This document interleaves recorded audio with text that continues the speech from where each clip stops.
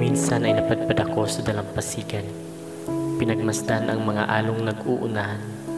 Dinama ang haplos ng hangin. Lumika ng yapak sa buhangin. Tila di ko matiyak ang dapat na maramdaman.